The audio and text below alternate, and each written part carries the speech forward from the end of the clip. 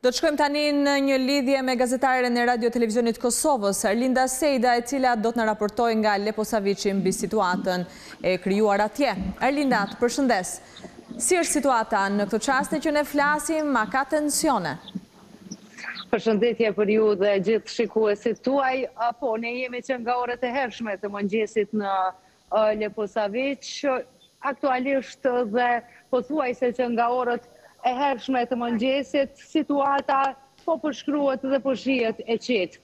Sikur në ditët tjera vazhdojnë të jenë të mbledhura turmat e qytetarëve serbë të cilët po protestojnë para komunës për të mos lejuar do të thotë hyrjen e kryetarit të ri Lulzim Hetemi në objektin e komunës dhe gjatë gjithë kohës kanë kërkesa edhe ndaj trupave amerikanë të KFOR-it të cilët po qëndrojnë edhe gjatë ditës së sotme para objektit të komunës së Leposaviqit kanë kërkesë që të njëjtit të tërhiqen.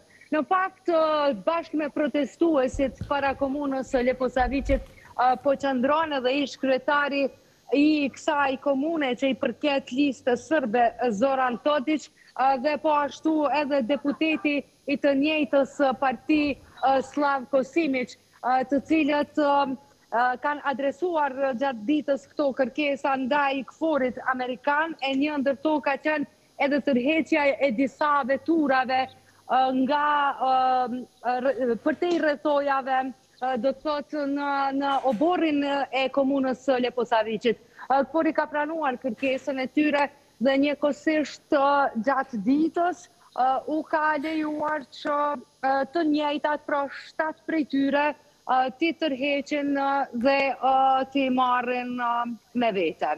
Do të thotë situata vazhdon të jetë e qetë këtu në Leposaviq, Akoma ka protestues para objektit të komunës, mirëpo jo në numër të madh. Prezente është edhe përveç KFOR-it edhe Policia e Kosovës?